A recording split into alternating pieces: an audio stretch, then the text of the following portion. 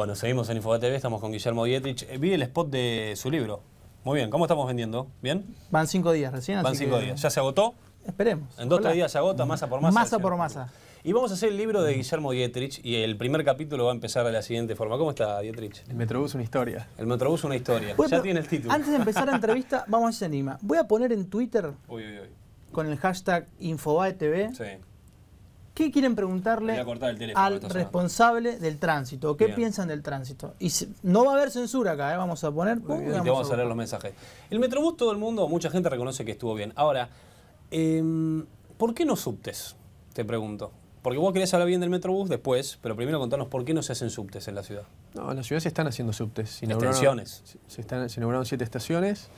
Se está extendiendo la línea H, que es muy Sí. importante, es una línea transversal. Nuestro sistema de subte es radial, por lo que el H te, te conecta mucho con mucho. Te corta el abanico de, de líneas. Exactamente, te Bien. conecta todo, desde el bajo hasta el, el- el sur de la ciudad, hasta Sáenz, y eso es una obra muy importante, está haciendo el gobierno de la ciudad. La realidad es que no hay una competencia entre una cosa y la otra, pero sí es cierto, hoy salió en un diario, en, en Clarín, una nota buena de, del Metrobús de, De Bogotá. Sí. Creo que vos conocés la historia, pero el Metrobús sí, nace sí. en el 70 y pico con Lerner en Curitiba. Una muy buena experiencia. Lerner crea el concepto de un subte sobre superficie y lo termina de consolidar Peñalosa en Bogotá a los fines de los 90.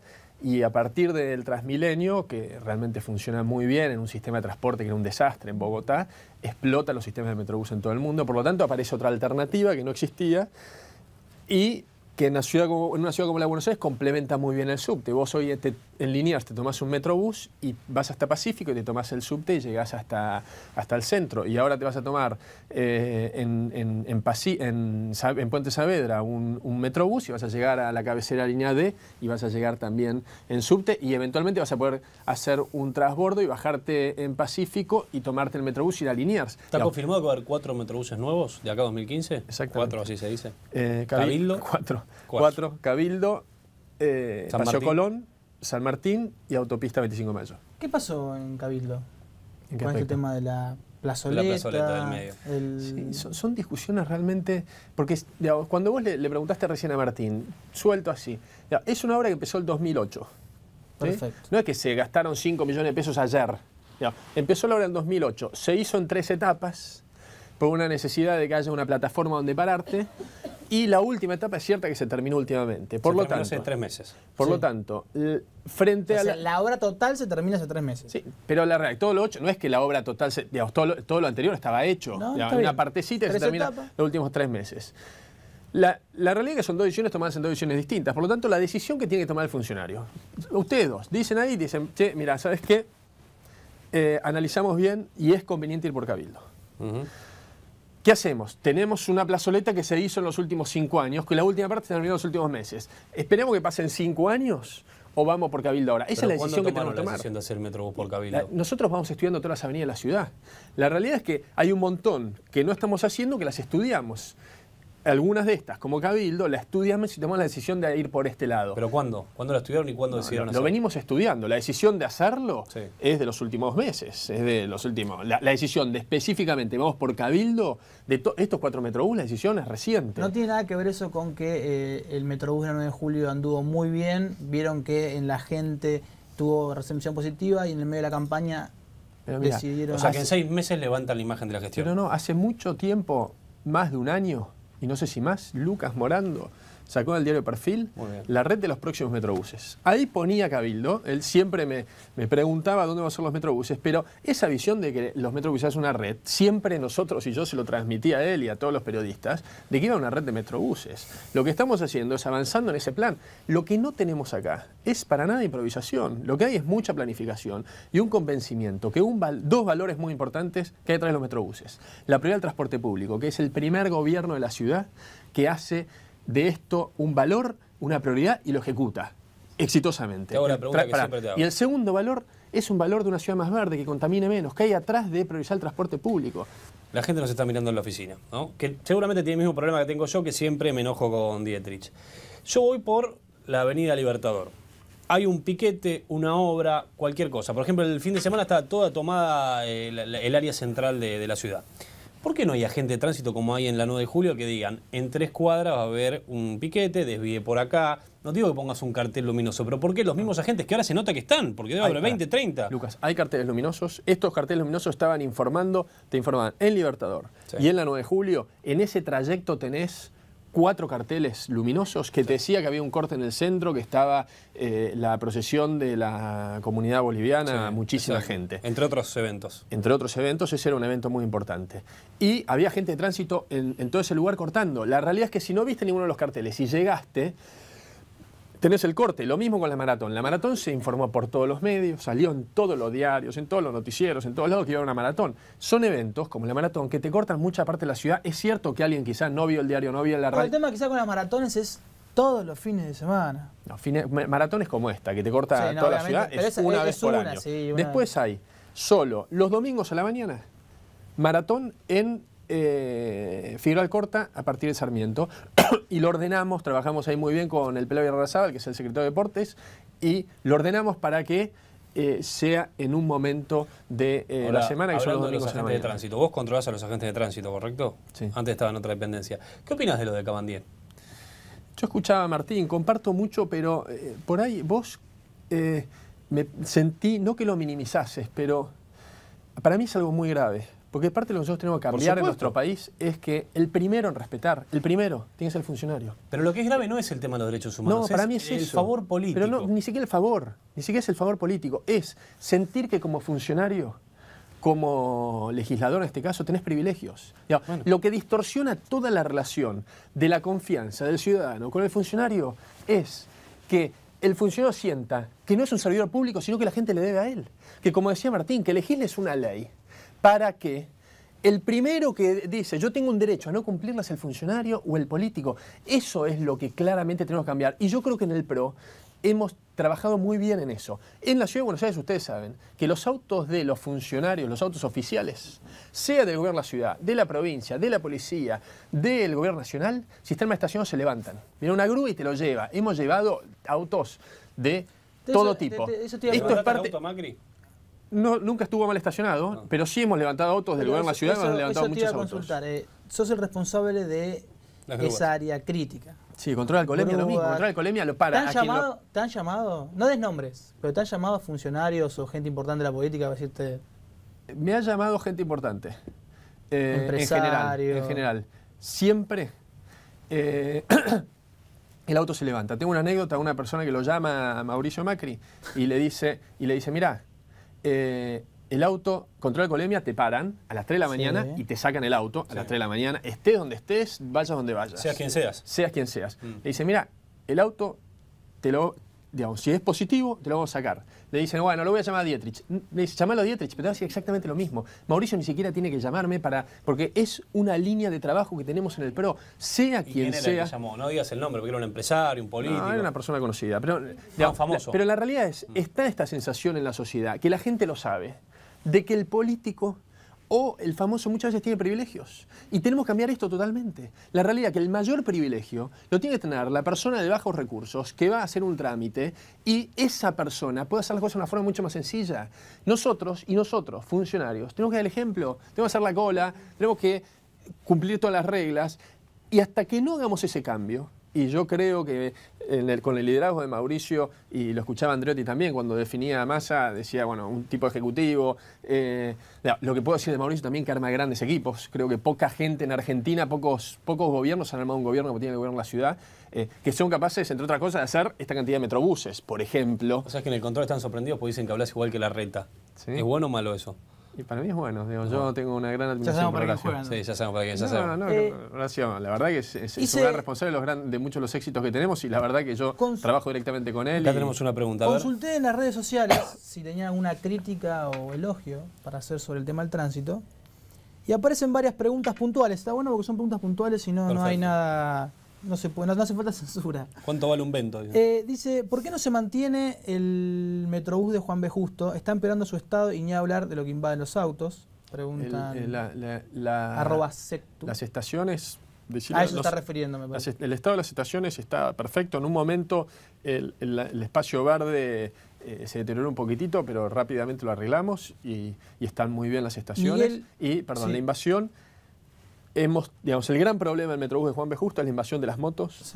En los últimos dos meses profundizamos los controles ahí. O sea, van por el carril exclusivo, Se Juan manda por Picadas. carrera exclusiva. Es el, el principal de los metrobuses en general. El principal problema es la invasión de las motos en Juan B. Justo. Tenemos actualmente mucho más presencia de los agentes de tránsito. Hemos parado muchas motos, secuestrado muchas motos, porque la invasión de carril de metrobús o de bicisenda es eh, motivo de. eh, Acá tengo uno que retención. lo voy, a, se lo voy a cantar yo, Joaquín de Villurquiza, pues yo también vivo por ahí. La mano, la doble mano de triunvirato no sirve para nada. ¿Es cierto? Hay, un- porque hay un contracarril ahí. Complica un poco las cosas a veces. Es cierto que el Santa Fe, te digo el mismo ejemplo con Santa Fe. El contracarril, ¿qué hace? Mejora los tiempos de viaje del colectivo. Principalmente el contraflujo. En Santa Fe, del centro a Plaza Italia, ha mejorado enormemente. Claro. En Triunvirato, exactamente lo mismo. En el flujo, un poquito se, se perjudica, pero tengamos en cuenta otra cosa, esto es dinámico. Cuando hicimos, en, hicimos el contracarril de Triunvirato en el 2009, pasaron 2010, cuatro años y pico. Eh, hay, en cuatro años hay muchísimos más autos. Entonces, si vos ves la foto, y lo bueno de esto es que para el colectivo la situación sigue siendo mejor que en el 2009. Metrobús de Pompeya. el Metrobús del no Sur. lo respetan mucho ¿Quién no lo respeta? los, eh, los transeúntes, los autos. Sí, sí. ¿Sí? ¿Se respeta? sí, sí. ¿No tienen problemas con eso? No, en general, de la misma forma que muchas veces nos flagelamos porque coincidamos que en general no se respetan mucho las normas, digamos, si no lo respeta un funcionario que es el que tiene la ejemplo. más fea, ¿no? Ese es el tema. ¿no? es una silla Es eléctrica. exactamente igual que la de Juan B. Justo, con los mismos materiales. Ha mejorado enormemente toda la zona. Por ejemplo, la parada que está eh, ahí enfrente de la cancha de San Lorenzo, en, en- en la Avenida Cruz. Realmente, eh, vos llegas ahí y, y es mucha innovación, modernidad, totalmente iluminado la noche. Yo, todas las veces que he ido a ver ahí cómo está funcionando y voy a la parada y hablo con la gente, lo que la gente te dice es, Sí. no solo viajamos mejor, porque se viaja mejor en un metrobús, va más cómodo, el chofer va menos estresado, etcétera, va más rápido, sino que ganamos mucho en seguridad. ¿Por qué? Porque estás en el medio de la calle, en una estación totalmente iluminada, puedes estar sentado y en el metrobús te, te, te- te juntas a paradas de colectivos, por lo tanto tenés mucha más gente y a su vez más gente usa el colectivo. Eso te da seguridad. Nos queda poquito Dice, tiempo. tenemos, tenemos más preguntas. Dale. Dice, Miguel pregunta, ¿usted sabe por qué el tránsito en la autopista Ilia está en manos de AUSA y es anárquico? Pregunta Miguel Higuaín. Después, por ejemplo, te hago varias para, dice... eh, Para que yo mientras le meto una. Algo que seguramente nos importa a todos los que estamos acá porque es cómo va a cambiar el, el sistema de las grúas.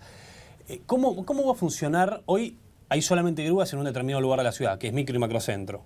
Va a haber grúas en toda la ciudad, eso es correcto. En Belgrano, en Núñez, en Urquiza, es así. Eh, no. Está en la legislatura una propuesta No hagas el escape por la tangente No, porque el que teje las políticas de de tránsito que, sos haya, vos. de que haya más control en la ciudad para que se Sí. ordene el estacionamiento y la legislatura tiene que definir si la propuesta que enviamos eh, es la que ¿Y autorizan. ¿Ustedes qué propusieron? Que haya que haya- en toda la ciudad. No en toda la ciudad, pero que en las zonas más críticas, donde hay problemas de estacionamiento, donde se estaciona mal, se tapan las paradas de colectivos, las rampas Y peatonales. eso sería eh, Villurquiza, Cabildo. Sería en todos los lugares, Belgrano, Palermo, esta zona. Las Cañitas. eh, son zonas donde el estacionamiento complica mucho la movilidad en general y principalmente siempre estas cosas complica al vecino mucho porque dice, no puede ser que en mi, en mi calle estacione todo el mundo de cualquier Mirá, forma. ¿cómo conjugás? Porque, por ejemplo, acá, yo vengo a trabajar acá, no vivo. Dejo el auto acá a dos cuadras, Acá hay un estacionamiento al lado. pero ¿querés que pague el estacionamiento? No me alcanza la no plata es que yo para quiera, pero no es que quiera. La realidad es que moverse en auto en una ciudad y pretender no pagar estacionamiento es una utopía. Digamos, podés hacerlo un tiempito. Hay un momento, digamos, imagínate que todos agarran y quieren decir, mira, yo todos los queremos venir. ¿Cuánta gente trabaja acá en el canal? ¿Cuánta gente trabaja? Mucha, sé, trabaja. 100 personas. ¿Cuántos Y en chicos? este edificio. 200 Todos dicen, personas. todos queremos venir en auto y estacionar en la puerta. ¿Es posible? Es imposible. Es decir, no, vos querés, no. ¿En qué Es el, es usted? el sistema. ¿En qué vino usted? Hoy yo vine en auto. ¿Y dónde lo dejó? En acá el al lado, estacionamiento. en el estacionamiento al lado. vi entrar. Eh, o en doble pero, fila. No, eh, no queremos bajar y que esté en doble fila su auto. No, no está en doble fila. ¿Va a haber parquímetros también en las calles de Palermo, Núñez, Urquiza? En algunos más lugares de la ciudad va a haber parquímetros, pero con algo nuevo que se incorpora. Que se Aumento incorporaría. de tarifa. No, que es que el residente no va a pagar. Entonces. Ah, si el- vos vivís ahí- si vos- el que vive acá, hoy no puede estacionar. ¿Sí? ¿Por qué? Porque venís vos con tu auto, lo dejás a dos cuadras y el que vive acá dice. Trabajo me- acá. me- sí, perfecto, pero hay un estacionamiento acá al lado. Entonces, este sistema lo que privilegia es el residente y el que tiene auto, nos movemos en auto, Eso agarra y que vaya al estacionamiento o que eh, elija otro medio de transporte. ¿Se va a ir a 5 pesos la tarifa? ¿Es cierto? ¿De no, no hay, no hay parquímetro? ningún valor. ¿Pero cuánto estimás que debe No, costar? no, es- en un entorno inflacionario de algo que todavía no se sabe Uno se con va 40 no va a valer más, está claro. Seguramente va a ser más que eso, pero plantear hoy un valor de eso El no doble. tiene sentido. No, no tiene sentido. Lo único que sí que tiene, tiene que haber No querés dar el título, es muy feo lo que estás no, haciendo. pero no, Lucas, no es que no te quede del título, que digamos, en algo muy dinámico, que todavía no se fue aprobado por la legislatura, decir lo que va a valer esto. Pero eh, ¿cuánto estimás vos en, tu, en tus esquemas de costos que debería costar el parquímetro? No puedo estimarlo, porque la realidad es que aparte hay distintas tarifas. Hay tarifas, hay lugares donde la necesidad de estacionamiento es una necesidad más comercial, que es muy importante que haya rotación de autos, entonces ahí es una tarifa que empieza a un valor más barato y si te quedas mucho tiempo va aumentando el valor. Entonces el que se queda media hora paga muy poco, el que se queda cuatro horas paga mucho. Voy a un tema puntual que me compete A ver. y creo que va a ser una pregunta corporativa, La moto. que es el famoso estacionamiento de las motos. Soy usuario de moto, no tengo dónde estacionarla, porque los, muchos estacionamientos no te permiten eh, el tema de que estaciones una moto. No hay lugar para estacionarla sobre la, sobre la calle como un auto común y corriente, algunas motos no se pueden. Y el tema de la vereda es muy complicado. ¿Qué se está haciendo? En el, en el- en el centro se ha, puesto como una dársena. En el centro hemos hecho espacios especiales para las motos. Estamos trabajando con los garajes para que no haya limitación para recibir las motos. Hay un tema de seguros que, estamos nosotros metiéndonos para que se resuelva. Pero tengamos en cuenta también otra cosa. No, si yo tengo mi moto, digamos, parte de la movilidad, cuando yo tengo la movilidad con un vehículo personal, por eso es tan importante el transporte público, por eso es importante sistemas como el de la bicicleta, porque vos agarras la bicicleta en una estación, la dejas en otra estación, la ciu- esa bicicleta cuando vos no la estás usando, la está usando otra persona, por lo tanto, es un bien público que se, que- que se sociabiliza su uso. Cuando vas con tu moto, cuando vas con tu auto, parte donde la dejas, es parte de responsabilidad de uno. Digamos, estar pretendiendo que todos digan, mira, yo quiero llegar con mi auto y quiero encontrar lugar porque no quiero un garage. O vos estado, quiero con mi moto y que me resuelvas absolutamente todo. digamos, me parece que no es muy realista. No es muy realista físicamente. Nosotros sí estamos trabajando, principalmente en el centro, que es donde la problemática es más importante, para crear espacios especiales para las motos y con los garajes de estacionamiento para que no haya limitación para el ingreso de las motos, de la misma forma que hicimos en la bicicleta, que vos hoy, en los garajes, no solo tiene obligación de recibir las bicicletas, con las motos lo mismo, sino que no pueden cobrar más del 10% de lo que vale estacionar un auto. El nuevo esquema de, de grúas, de estacionamiento medido, que vos vas a poder pagar con el celular, me imagino, por internet, ¿cuándo se supone que va a entrar en vigencia? ¿Se tiene que aprobar la ley en la legislatura? ¿Eso es correcto? ¿Cuándo lo ves? ¿A partir del año que viene? ¿En dos una, meses? una vez que salga la legislatura, que son tiempos que no controlamos nosotros, a partir de ahí hay todo un periodo de licitación, adjudicación, Ah, implementación. Que No hay nada de eso, digamos, o sea No, que no, no, falta, digamos. Eso es recién después que salga la legislatura. Y la última de las redes sociales de Rosario Maglione, que me pregunta por el tema de la sincronización de los semáforos. Gran pregunta. Gran pregunta de las redes sociales. Digamos, no funcionan como un relojito suizo los semáforos, Los ¿no? semáforos funcionan muy bien en las avenidas, en general. Y muy mal en toda la ciudad. Tengamos en cuenta que la avenida doble mano no puede estar sincronizado los semáforos en los dos sentidos. O sincronizás uno y no el otro, como el caso de Santa Fe, como el caso del contracarril del Libertador, por ejemplo. o no sincronizás ninguno de los dos y los vas abriendo en bloque, como es el caso de eh, Cabildo, como es el caso de 9 de julio. Casos paradigmáticos, como el caso de Cabildo, que hace años los semáforos funcionan muy, bien, muy mal, se han resuelto. Hemos cambiado absolutamente todo el cableado, todas las computadoras. En las calles en particular seguimos teniendo semáforos que están en local. ¿Qué significa? Que ese semáforo no está todavía conectado a la red. Claro, ese Entonces es ese es un semáforo que se lo ajusta manualmente, pero es un semáforo medio tonto. Eh, venimos trabajando, por ejemplo, mucho en Gorriti, eh, que la- el sistema de semáforos no andaba bien, ¿Qué trabajándolo porcentaje mejorándolo. tontos de todos los semáforos? No, digamos, tenés dos, tenés tres cosas. Por un lado tenés los semáforos que están conectados a un centro de control, que ya Sí. tenemos el 65%. Sí. Del 45% no sé qué porcentajes. No están conectados y qué porcentajes son tontos, digamos. Ahí, ahí no me lo sé de memoria. Pero sí hablemos de Gorriti, recién eh, pasé por ahí.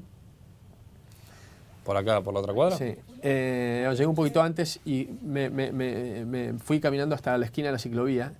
No paraba, no hubo ningún momento que estuve ahí que no pasaba una bicicleta. No, el problema es que no respetan a los autos las bicicletas. Sabés que es una nueva filosofía. El ciclista ahora piensa que es más importante que un auto. El ciclista frente al auto, Lucas, Sí. de la misma forma que el peatón, tiene prioridad. El problema es que el peatón, cuando el auto doblaba, el peatón se quedaba y no esperaba. Ahora el ciclista se manda. El ciclista se manda y que, y que tiene la prioridad. La- y la realidad que es bueno que el auto, automovilista, eh, empiece a ver que cuando gira, si pasa una bicicleta, un auto, eh, perdón, una bicicleta, una persona, una señora con el cochecito con su bebé, una señora mayor, tiene prioridad absoluta, sea cual sea. sea hoy manda la bicicleta. Como digamos. el tema, Manda la bicicleta y el peatón frente al auto claramente tiene prioridad cuando el auto está la doblado. el tema de la bicicleta, puntualmente en términos de cuáles son los requisitos que se le debe a una bicicleta, no está por ahora, es medio anárquico el tema, porque no es un vehículo, entonces, por ejemplo, no hay obligación para que el que anda en bicicleta use casco, eh, eso se va a reglamentar, se quiere reglamentar, pedir a las, a las bicicletas ciertas eh, condiciones. Mira, eh, una ciudad donde hay más bicicletas es una ciudad más segura. Esto es estadístico. Lo que nosotros tenemos que impulsar es que haya una ciudad con más bicicletas. En las ciudades más progresistas del mundo, aquellas que tienen una distribución de la calle, espacio público mucho más equitativa, donde el auto tiene menos eh, poder, por decir, menos eh, espacio para sí, lo tienen más los peatones, lo tiene más el transporte público, lo tienen más las bicicletas, lo que te dicen es, la bicicleta es un peatón rápido. Y la realidad es que es un poco eso. Vos cuando vas en bicicleta en general vas más despacio que cuando vas corriendo. Entonces, esto es un cambio de paradigmas y cultural muy importante. Claramente, la bicicleta cuando está mezclada con el tránsito y no está en la ciclovía, tiene que ir de una forma ordenada, no estar haciendo zigzag y todas esas cosas que generan riesgo para el ciclista y riesgo para los automovilistas.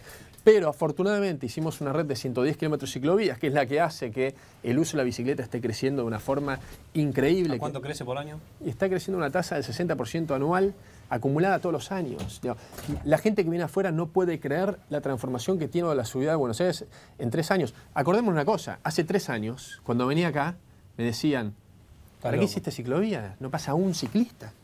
Hace poco Y hoy, lo, y hoy lo que logra, y que es algo que ganó la gente, no es algo que ganamos nosotros, porque esto claramente lo hicimos entre la gente, el gobierno, las ONG, las empresas que están impulsando cada vez más, más empresas, que la gente vaya a trabajar en bicicleta, pues mejora la calidad de vida, gasta menos plata, llega más rápido y contribuye a una ciudad más verde. Hace poco leí en un diario, creo que era La Nación, que había un proyecto que habían estudiado de poner un teleférico en la ciudad, como pasa en los centros de esquí. ¿Es cierto? No, no. No es así. Estudiamos en algunos lugares, por ejemplo en Medellín, el, tel- el- la telecabina esta Sí. te conecta un morro con, Sí. Claro, por ejemplo, un tema- sistema de y acá con transporte. Tema la geografía no... Entonces, lo hemos estudiado porque es algo que en algunas ciudades eh, se, ha, se ha ido desarrollando. En Pero Londres, de edificio a edificio, por ejemplo. no, en algunos lugares se ha hecho así, con ¿Cómo? instalaciones de edificio a edificio, Ah. pero son conexiones más locales. En Londres, eh, Emirates hizo una instalación de cable carril que tiene un fin mucho más turístico, que conecta el, el Parque Olímpico con un lugar nuevo que se ¿Y desarrolla acá en la que ciudad. estuvieron conectados? Acá estudiamos si era posible, pero no, digamos, si había algún lugar donde se justificase eso, pero se resuelve de todas las, Puerto Madero a Retiro, ponele. todas las conexiones esas de transporte se resuelven de forma mucho más económica que con eso. Te hago la última que me da, eh, al menos por mi parte, que me da mucha curiosidad. Tu familia es eh, la dueña de una de las principales concesionarios de venta de autos. Y vos de tu gestión, y quizás con pensamiento personal, sos uno de los principales promotores para que uno deje de usar auto. En un momento de tu familia te llaman por teléfono y te dicen, aflojame que tenemos que vender autos. No, sí, Porque digo, porque todo el kilometraje uno para en un semáforo, ve el apellido, no hay auto, ve Dietrich, llama ahí el papá apellido. Guillermo también. Guillermo. Dietrich, en No hay llamado de papá Y Dietrich. mi hijo diciendo- también. Y mis hijos dicen, papá, volvé a la empresa, así te vemos más, trabajás mucho. Decirle a Macri que te deje de volver y andate. Eh, Pero papá Dietrich nos llama y dice, che, no, ¿qué hice? ¿Qué te hice de mal para que ahora vayas en contra de mi negocio? Te digo un chiste, porque mi hijo más grande hoy, a la- el fin de semana, hablaba por teléfono delante de él con Anita, la secretaria de Mauricio, entonces me, me- me cargaba el otro día en el auto diciendo, no, porque la llamé a Anita o hablé con Mauricio. Era muy cómico cómo me imitaba, pero... No es gracioso, ¿no? No, Eh, es gracioso, gracioso, gracioso, gracioso. Pero Estaba pensando en la pregunta, disculpa. lo que decía Juan Cruz... No, Mirá, yo estaba obviamente pensando, la- mirá, la- mirá- mirá lo, lo- lo que estoy inventando para no responder. No, obviamente está la cargada. Eh, claramente, en el momento que yo decidí eh, irme de- de- del negocio familiar para asumir esta responsabilidad que me genera un gran orgullo de- en la función pública, invitado por Mauricio, eh, claramente la prioridad absoluta y los objetivos era trabajar para el bien común, una palabra que está un poquitito bastardada, pero yo creo que dentro de lo que hacemos nosotros se ve eso. Mi interés particular eventualmente podría ser otro, eh, que no lo es, porque desde el momento que estoy en la función pública yo trabajo para que es lo, lo mejor para la ciudad y si tiene un si, si afecta eh, los intereses de la familia, lamentablemente eh, las ciudades tienen que estar Nos dirección. peleamos en Navidad, ¿qué puedo Exacto. Tengo una cortita antes de despedirte. ¿Es cierto que después de las elecciones van a aumentar el subte? Acordate que esto queda grabado, por si vas a decir que no y el 30 de octubre aumenta No, el subte. el aumento del subte está en la justicia en este momento, no, no, hay, una especu- no hay una especulación. Eh, Nosotros en las cosas no, no, no especulamos, digamos, dicen Pero debería costar 3,50, como dicen. Está en la justicia, digamos, eh, se propuso el aumento a 3,50, en el cual incluye un subsidio de 3, 3 pesos con 50. Tengamos en cuenta. Entonces, señor, Se debería costar seis. 5 o 6 pesos. El, go- el gobierno de la ciudad está subsidiando El 50%. el 50% de la tarifa si la tarifa valiese 3 pesos con 50. Se propuso ese aumento que consideramos que era correcto. Eh, el- en Argentina hubo inflación, nos aumentó el pancho, nos aumentó la, eh, la coca, nos aumentó o sea, sería correcto todo. aumentarlo ajustándolo a la inflación, como mínimo. Exacto.